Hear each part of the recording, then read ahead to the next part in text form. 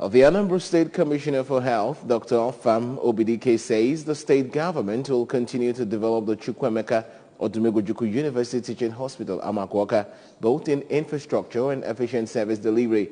Dr. Obidike made this known when officials of West African College of Surgeons visited the hospital. Health correspondent Chibuzo Okoye completes the story.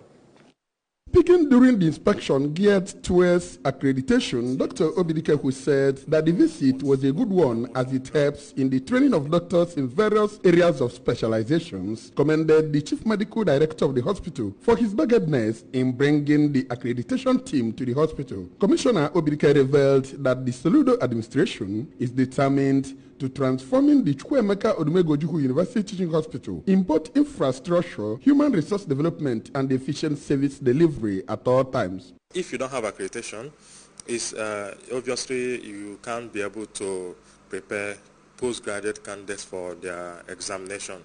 That's postgraduate examination that will qualify them to be a consultant. And uh, this is a, a very good um, development because uh, if you have doctors without training them in area of specialization is not uh, a good thing. And uh, um, I thank the CMD for putting this thing together to The leader of the team, Professor Clement Osime from the University of Benin Teaching Hospital, Edo State, pointed out that they do the accreditation visitation regularly in all teaching hospitals in order to look at their facilities on ground and as well ensure that the facilities are working optimally with regards to training of resident doctors, even as he made it clear that the visit was not to wish hunt anybody under any guise. The whole idea is to ensure that services are available to train them to become good surgeons. It is not meant to witch hunt any facility.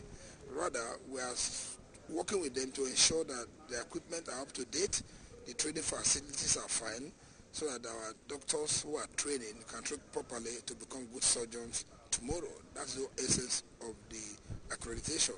Earlier, the chief medical director of the hospital, Dr. Joe Akabike, maintained that they have secured five accreditations in various fields and that he is optimistic that the hospital will be found worthy to get full accreditation. This is a tertiary health institution, and that's the highest health institution all over the world.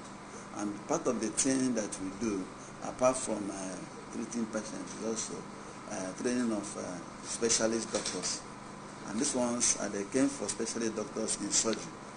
And remember that if you, are, if you have that pool of such doctors within you, you find that the work on the consultant becomes less, and we're going to get better services. In the same vein, members of the Family Health International FHI have also visited the Chief Medical Director of Chukwemeka Odumegojuku University Teaching Hospital, Dr. Akabike, where they cross-fertilize ideas on how to improve partnerships for enhanced healthcare delivery, particularly as it concerns HIV/AIDS and other viral diseases. From Chukwemeka Odumegojuku University Teaching Hospital, Amakwoka, this is Chibuzo Koye for ABS News.